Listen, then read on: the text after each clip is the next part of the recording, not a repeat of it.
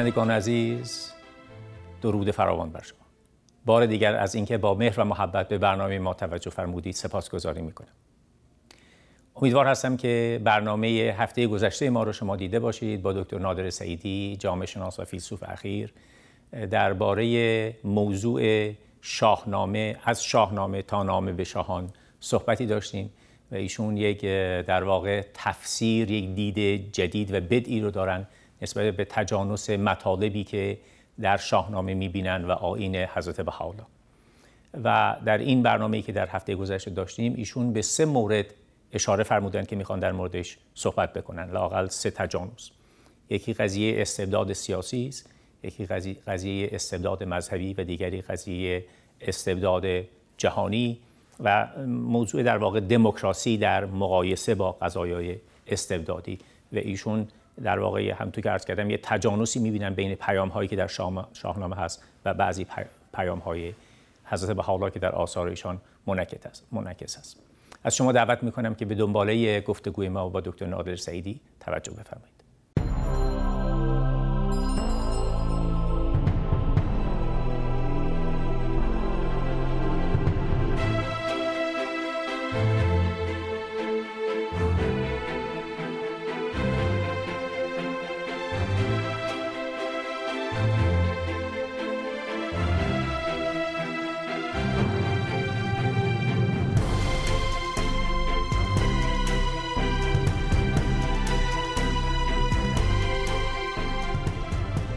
دکتر سعیدی شما مسئله استبداد سیاسی اشاره کردید و اینکه هسته به حالا در آثار خودشون به قضیه دموکراسی حکومت مردمی اشاره کردید. البته در گذشته خب شاید اصلا مفهوم دموکراسی وجود نداشته و شاید ایدئال ترین نوع حکومت در زمان گذشته عبارت از این بوده که خب یک پادشاه باید عادل باشه.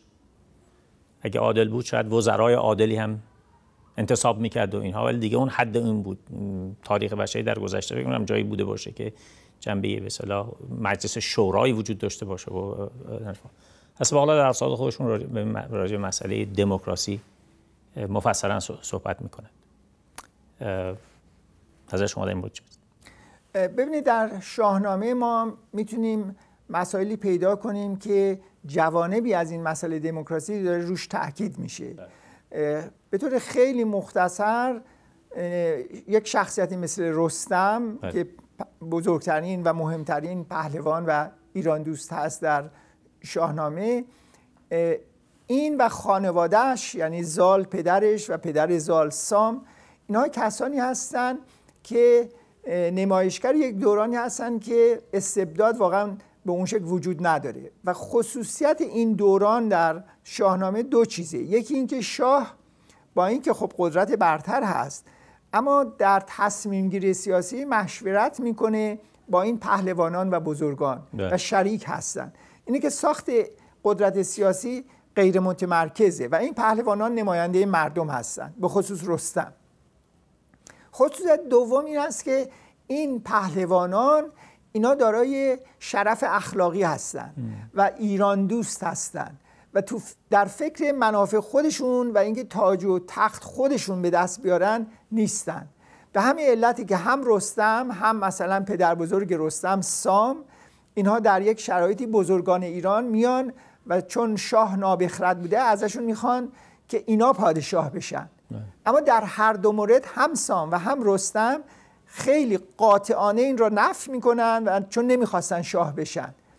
و این عامل یعنی ترکیب یک ساختار نسبتا غیر متمرکز سیاسی به اضافه این اخلاقی که وجود داشته و این میهندوستی که وجود داشته این دوتا تضمین می‌کرده که آزادی به یک شکلی در ایران باشه. موقعی که این دوتا عامل از میان میرن بر طبق شاهنامه یعنی پهلوانان و بزرگان هر کدوم تو فکر اینن که خودشون پادشاه بشن یا اینکه پادشاه پهلوانان و بزرگان سعی می‌کنه از بین ببره و فقط خودش قدرت داشته باشه. اون موقع است که ایران ضعیف میشه و منجر میشه به حمله اسکندر و بعدا در زمان ساسانیان منجر میشه به حمله عرا و پیروزی اونها.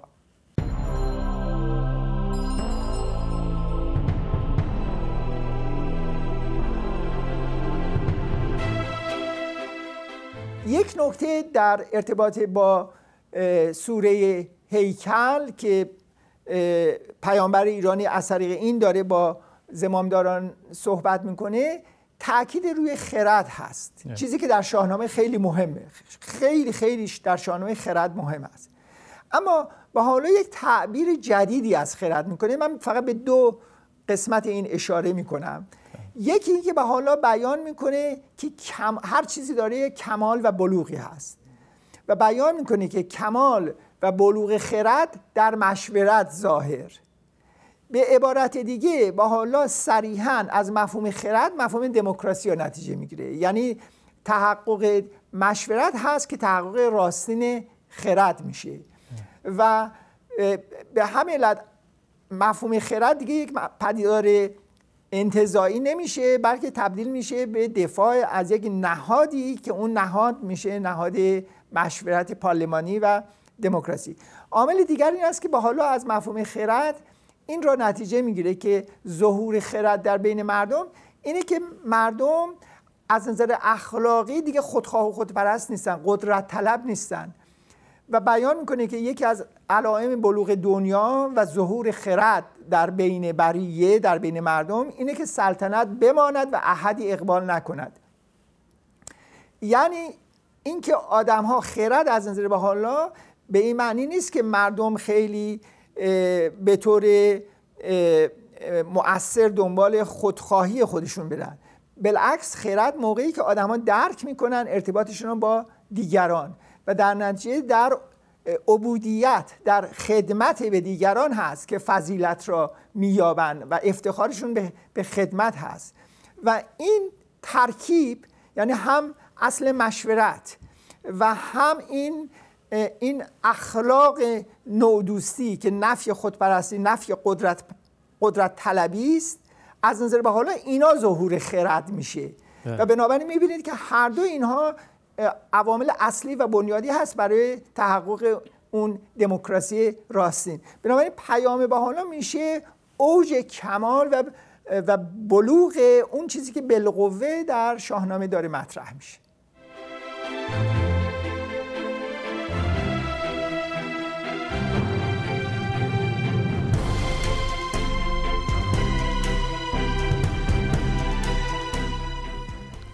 خیلی ممنونم. خب این تعریفی که شما از منظر آثار هست به حالا کردید در در مورد خرد خب یک یک دید خاصی است برای اینکه فکر نمی‌کنم این طرز تفکر همه جا یکسان باشه. یعنی اینکه خرد اگر یه اون رو به عنوان خرد یک ابزار عقل سودگرا ببینن خب می‌تونه به نحو یه جوری دیگه انسان از خرد خودش استفاده کنه برای پیشبرد منافع شخصی خودش مثلا.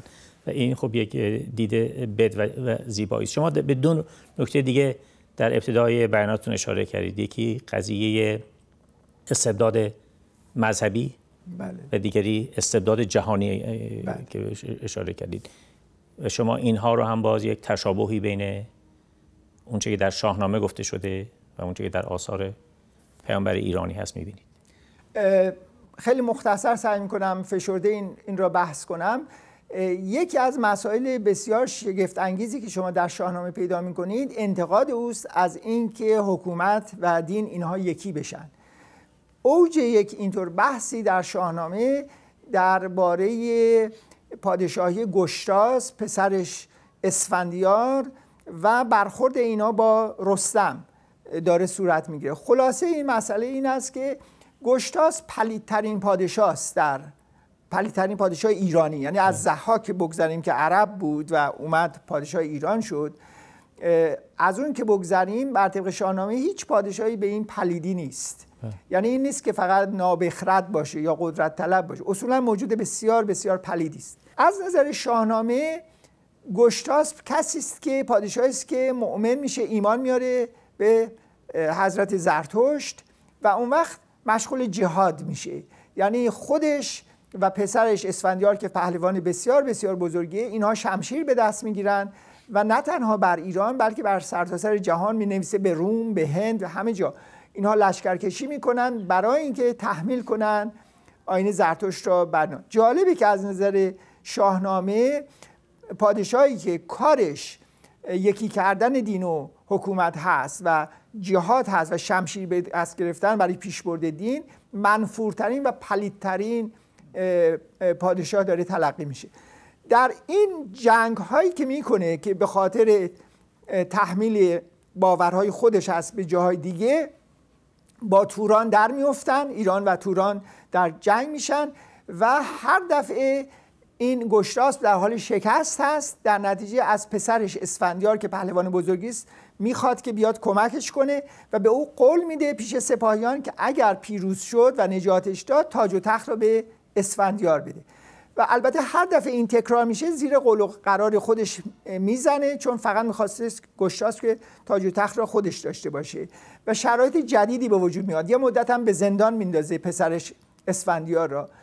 ولی به هر حال چون بهش احتیاج داشته همیشه اسفندیار میاد کمک می‌کنه بازم زیر قولش می‌زنه. آخرش یک نقشه خیلی شومی میریزه گشتاس و به اسفندیار می‌گوید که رستم کسی است که دشمن ایرانه و به ما و به پادشاه و ایران احترام نمی‌ذاره. به آین زرتشت هم به طور تلویحی مطرح میگه که خیلی زرتشتی معتقد و مؤمنی هم نیست.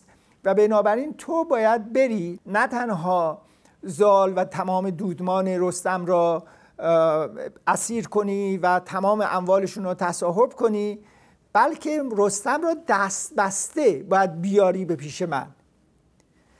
رستم و اسفندیار این کار می‌کنه با اینکه می‌دونه این کار کار درست نیست با اینکه می‌دونه که رستم بزرگترین منجی ایران هست بزرگترین دوستدار و میهن دوست ایران هست اصلا از اون بزرگتر در ایرانی. می‌دونه این کارش غلطه.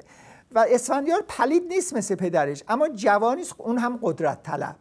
و برای همین سعی می‌کنه که یک جوری به خودش بقبولونه که این کار درسته.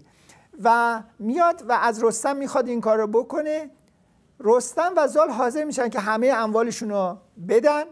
رستم حتی حاضر میشه که با اسفندیار بیاد به پیش گشتاس و اگه گشتاس می‌خواد به زندان بره. اما حاضر نیست که دست بسته بره پیش او. چرا که هویت پهلوانی خودش را آزادی خودش را نمی‌تونه نفی کنه. و می‌دونه رستم که اگر قبول نکنه این خواسته اسفندیار را خودش و دودمانش از بین خواهند رفت.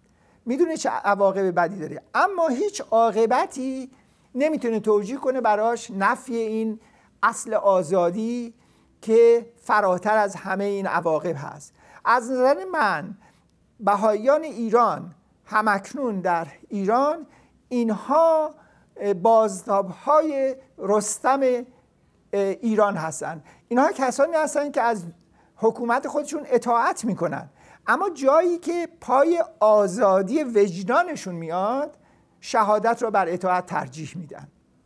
و این شجاعت و این شهامت و این آزادی و آزادی دوستی این اخلاق رستم هست که داره شاهنامه از اون ستایش می‌کنه و البته اسفندیار می‌دونه کارش غلطه کارش غیر اخلاقی است. اما برای اینکه اینو توجیه می‌کنه دست به تحریف آینه زرتشت می‌زنه. و می‌گوید که آینه زرتشت میگه که فرمان شاه را باید بیچون و چرا هر چی باشه اطاعت کرد. و به همین علت من باید این کارو بکنم و رستم باید دست بسته بیاد یا, یا من باید باهاش بجنگم شما می‌بینید که از نظر شاهنامه در حقیقت این یکی شدن دین و حکومت باعث میشه که دین بشه ابزاری برای قدرت فردی و در نتیجه باعث میشه خود اون دین تحریف بشه و از میان بره. یعنی اون چیزی که اسفندیار میگه اصلا آین زرتشتی نیست بلکه داره آین زرتشتی ها ممسوخ می‌کنه واژگون می‌کنه برای اینکه به هدف خودش برسه. یعنی آنهایی که با زور شمشیر می‌خوان دینا به پیش ببرن اینها همونهایی هستن که خود دین را از ریشه از میان می‌برن و واژگون می‌کنن. نتیجه این مسئله البته جنگ بین رستم و اسفندیار هست. اسفندیار کشته میشه و اون وقت دیگه رستم تعریف میشه به عنوان دشمن فرزند اسفندیار که میشه بهمن. حمله می‌کنه و دودمان اینها رو از بین می‌بره و قتل عام می‌کنه از زاولستان. و البته قبل از حملش رستم کشته شده توسط برادر ناجوان مردش. و بدین ترتیب ایران الان آماده است که اسکندر حمله کنه و به راحتی ایران را تصرف کنه. شما می‌بینید که چقدر با عمق شاهنامه داره از از فجایع یکی شدن حکومت و دین صحبت می‌کنه. شما حالا وقتی نگاه می‌کنید به بیانات پیامبر ایرانی الله می‌بینید که از اون اول محور همه بحثاش اینه که مفهوم نصرت باید عوض بشه. نحوهی که دیانت و, و پیام الهی باید مورد پیروزی قرار بگیره از طریق قلم هست و اخلاق پسندیده. و شمشیر و, و تحمیل عقاید اینا بالکل نفی میشه. جهاد بالکل نفی میشه. و بنابراین به خاطر این مسائل هست که در در نوشته های و حالا از جمله در خود همین سوره هیکل مثلا در پیام به پادشاه ایران و حالا مستقیم در مورد معنای جدید نصرت در این دور داره صحبت می‌کنه. مفاهیمی ضد انسانی مثل ارتداد یعنی اینکه اگر دین خودتو بخوای عوض کنی باید کشته بشی. اینها همه نف میشن به جاش آزادی وجدان و عقیده میاد. و این اصل به حالا میشه یه اصل جدیدی که عرصه ای که خدا حکومت می‌کنه عرصه دل هاست. و عرصه سیاست میشه عرصه حکومت زمین. و به حالا بیان می‌کنه که خدا این دوتا رو از تفکیک کرده و عرصه حکومت زمین رو به مردم و پادشاهان به اونها داده. عرصه دل هست که برای خودش است. شما می‌بینید باز در این مورد یک تجانسی وجود داره بین اوج فرهنگ ایرانی و پیام نوینی که توسط پیامبر ایرانی داره مطرح میشه.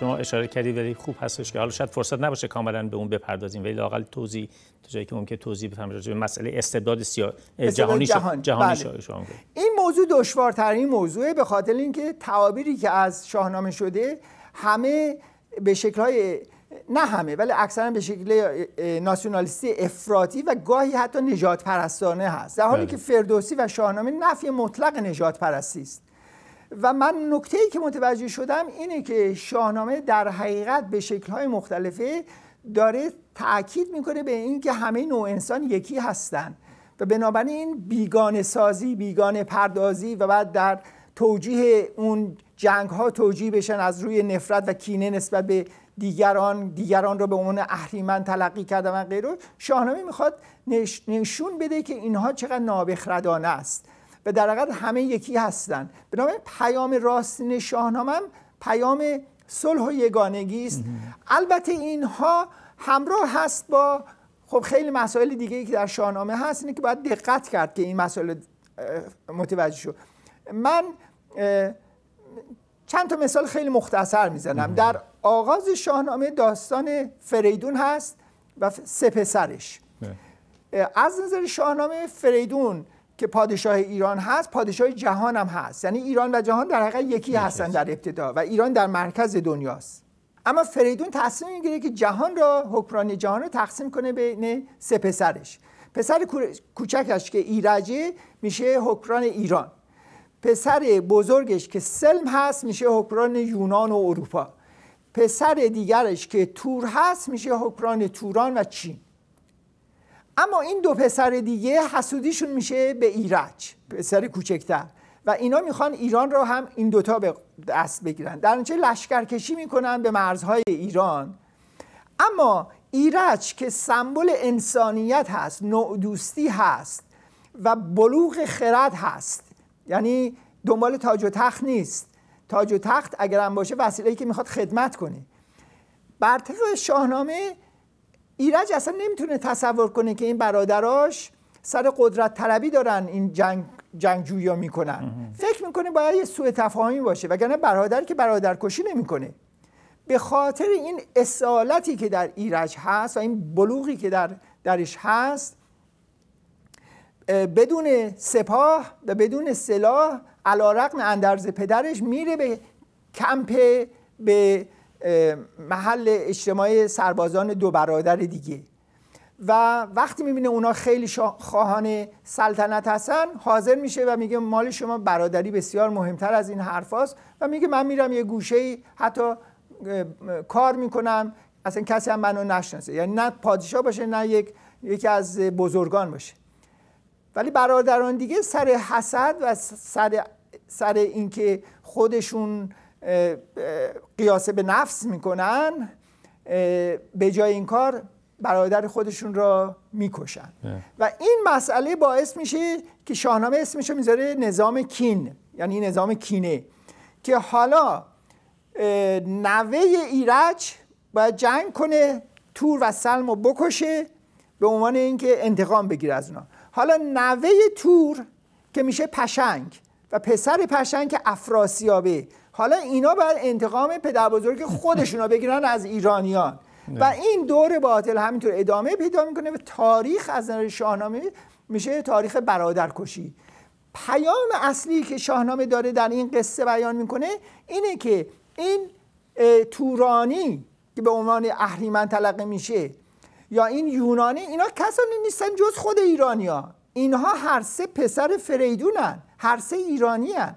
بنابراین بیگانه ای در کار نیست. چیزی که هست همه ایرانیان همه برادرن این توهم بیگانه پردازی و اهریمن پردازی است که وسیله میشه که این توهم که دیگری رو شما غیر از خودت می‌بینی یادت میده که این برادر خودته که در نتیجه نظام کین این نهادینه بشه و همینطور بدتر بشه بدتر بشه. هر گروهی برای خودش خاطرات تعدی که به اون شده داره و می‌خواد انتقام بگیره از دیگران. این است که شاهنامه در اینجا داره کاری که می‌کنه نشون میده که چقدر نابخردانه است این نظام کین و ما باید حرکت کنیم به طرف نظام مهر و درک کنیم که همه یگانه هستیم. حالا در آثار بهاءالله این مسئله به یک شکل نوینی خودش رو ظاهر می‌کنه و بهاءالله اصلا میاد که ایران بشه یک پلی برای جهان بشه عاملی که صلح جهانی بخواد به وجود بیاد و یگانگی نوع بشر از طریق ایران و فرهنگی که از ایران برخواسته تحقق پیدا کنه. و به همین علت شعار بهاییان این بیان بهاءالله هست که می‌گوید ای دوستان یعنی همه نوع بشر دوست هستن دشمنی در کار نیست. ای دوستان سراپرده یگانگی بلند شد. به چشم بیگانگان یکدیگر را مبینید. همه بار یک دارید و برگ یک شاخسار. یعنی به حال اومده که فرهنگ کینه را فرهنگ بیگانگی را فرهنگ بیگانه پردازی و اهریمن پردازی را فرهنگ جنگ را فرهنگ جنگل را فرهنگ ددمنشی را تبدیل کنه به فرهنگ ایرج به فرهنگ مهر به فرهنگ برادری و برابری و یگانگی. من ختم می‌کنم این بحث را با اشاره به این مطلب که این پیام های الله به زمامداران عالم تحت عنوان سوره هیکل بیان میشه. و علت اصلی این که الله این پیام های خودش را به عنوان سوره هیکل بینامه البته هیکل داره معانی گوناگون هست. اما بالاترین سطح معنی این است که حالا در دو مرتبه تاکید می‌کنه در سوره هیکل که الان وقت این آمده که بشریت وارد مرحله جدیدی بشه. و بیان می‌کنه که بشریت الان وارد مرحله شده که تمام عالم انسانی یک هیکل شده هیکل واحد شده مثل یک هیکل انسان شده. یعنی یک جنبه ارگانیک پیدا کرده یک پیکری شده که همه با هم در ارتباط هستند بنابراین به خلاف گذشته که یک قبیله یا یک کشور صرفا یک هیکل بود یعنی همه جزئی بودن جزئی پیوسته از یک واقعیت مشترک و بعد دیگران می شدن بیگانه و حالا بیان می‌کنه که حالا نگاه کنید به عالم به عنوان یک هیکل انسان و در نتیجه تمام نوع بشر میشن خواهر و برادر و همه جزی هستند پیوسته و در حال ارتباط متقابل و پیام به حالا این است که از الان به بعد اگر ما می‌خوایم مشکلات دنیا را حل کنیم باید با این اندیشه نودوستی حرکت کنیم و ایران دوستی و جهان دوستی با هم پیوند پیدا کنند. هر کشوری مردم هر کشوری باید دوستدار فرهنگ خودشون کشور خودشون باشن استقلال خودشون رو داشته باشن. اما در این حال یک سیستم مشورت بین المللی و حقوق بین المللی هم وجود داشته باشه که شما دیگران رو هم برادر خودتون می‌بینید. نه اینکه بخواید منافع خودتون رو به قیمت منافع دیگران به دست بیارید که این میشه استعمار استعمار جهانی و نظام باجگیری. و این مطلبی است که به حالا داره نفی می‌کنه استعمار جهانی رو نفی می‌کنه و در اون مفهوم دموکراسی در سطح جهان هم مشورت جهان هم تحقق پیدا می‌کنه بر این اساس که همه برادر و خواهران میشه وحدت در کسرت کشورها استقلال خودشون رو دارن اما در این حال هم متحد هستن در یک نظام مشورتی مشترک با این اندیشه یگانگی و صلح عمومی.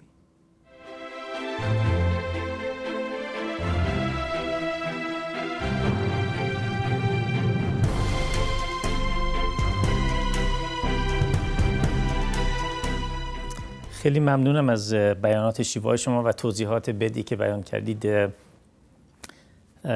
همطوری که شما خودتون در ابتدا اشاره کردید در مورد شاهنامه مطلب زیاد نوشته شده و تعبیرات زیادی کردن نویسندگان حالا با این دیدی که شما ارائه کردید بیشتر یه از بینندگان عزیز تشویق خواهند شد که حالا با دیدگاهی که حضرت حالا در آثار خودشون مطرح کردن با این دیدگاه برن و دوباره شاهنامه رو بخونن بله. و اون تجانس رو که شما بهش نکات تجانس موضوعی که لاقل اشاره کردید بهش در, در اینها ببینن. به حال بسیار سپاسگزاری می‌کنم که باز نتیجه تحقیقات بد و زیبای خودتون رو با ما در میان گذاشتید و انشاءالله تا در فرصت دیگر موقعیتی دست بده با در حضور شما باشیم و با هم گفتگوی داشته باشیم. من هم تشکر می‌کنم.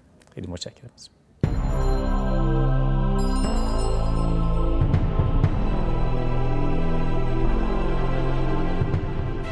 بینندگان عزیز بیشک شما شاهنامه رو خوندید. یا با بعضی از متون اون آشنایی دارید اگر تمامش رو نخوندید شاید این موقعیت مناسبی باشه که از دیدگاه پیام پیامبر ایرانی حضرت بهاءالله حالا برگردید همه برگردیم و به این سند زیبای شاعرانه ایرانی شاهنامه از دید جدید نگاه بکنیم و پیام های جدید رو در اون ببینیم. بسیار از شما سپاسگزاری می کنم که به برنامه امروز ما توجه فرمودید. و تا نوبت دیگری که در خدمت شما خواهیم بود شما رو به خداوند مهربان می سپارم جان و روانتان خوش بود